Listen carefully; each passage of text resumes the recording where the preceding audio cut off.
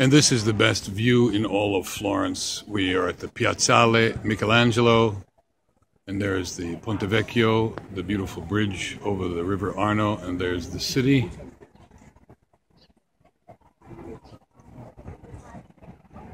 All the way across. And we're heading down to a little ice cream place that supposedly has the best ice cream in all of Florence, down there by the river. Ciao! Of Monterosso al Mare, the first or last town of the Cinque Terre and the most resorty of all the towns. It has a beach with sand and umbrellas and chairs to rent, many restaurants and shops and hotels along the beach.